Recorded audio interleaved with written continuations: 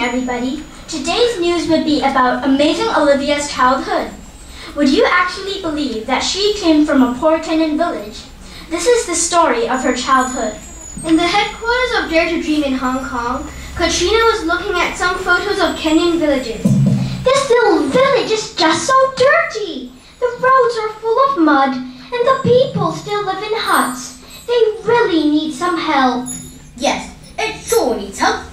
This Christmas, we'll be working on this Kenyan village then. Good. Olivia is just an eight-year-old girl, and unlike the other children, she believed in her dreams, and hers was to be a magician.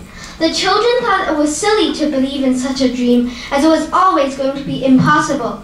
But Olivia never gave up.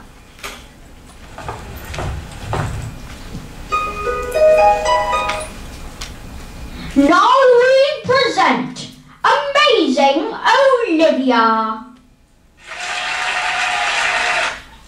This is the Fire Hoop Show. Thank you. Thank you all. Hello, little girl. What's your name? H hello, I'm Olivia. I'm from Dare to Dream Charity. What's your dream? I want to be a magician. I will perform around the world and be famous. Interesting. We are Dare to Dream, and we will make your dreams come true. Really? How can I become one? You'll see. Back at the Dare to Dream headquarters. Hello, boss. I'm back. Good. Welcome back. Are there any talented kids? Oh, yes. There's one called Olivia. She believed that she would be a world famous magician one day, unlike the others who only dream of being a farmer. Only one? The kids need some encouragement. Now, why don't we go back on Christmas and buy Olivia a beginner's magic kit? We can also cheer up the other children. Good idea. In the Kenyan village on Christmas Day.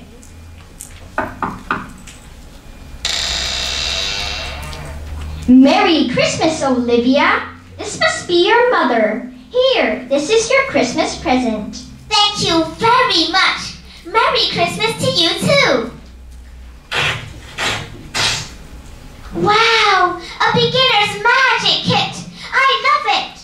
Thank you very much. How can we repay you?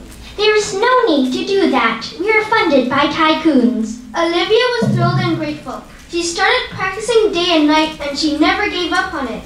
So this is the start of Olivia's career of magic. She worked hard and never gave up. When her friends came to ask her out to play, she always refused, as she was busy practicing her magic tricks. Back at the Dare to Dream headquarters. Katrina, is it time to go back to check out the little village? Yes, I think so. Okay, I am booking a flight for you now. Back in Olivia's hut.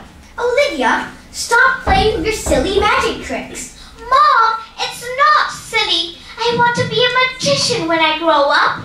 Don't be silly, Olivia. I'd rather you do something more useful and sensible. I don't care. Being a magician is my dream, and you won't be able to stop me. Twelve years later in New York, there's an interview with Olivia on CNN. It is such a pleasure to meet with the world-famous magician finally. How do you feel when you see the long queue outside the Majestic Theater for your magic show in New York? I am flattered with a bit of surprise. Seems that this is more overwhelming than David Copperfield's performance last year. Everyone is thrilled to watch your performance. Among all your magic tricks, which is your favorite one? Not the vanishing egg, not the dancing ties. And I would say it's flying. Flying has always been my dream, like being a magician. Every time I do it, I feel as free as a bird, and all the problems and insecurity are gone. Is there anyone you would like to thank for assisting you to become who you are today?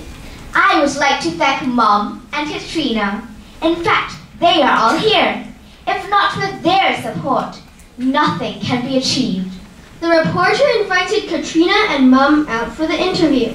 I have only contributed a small part by recommending you to my boss. It is all your effort, Olivia. I must say sorry to you that I tried to stop you from practicing magic 12 years ago. You're absolutely right, my girl. If you have a dream, go for it. We can't wait to watch the performance and wish you a successful performance in New York.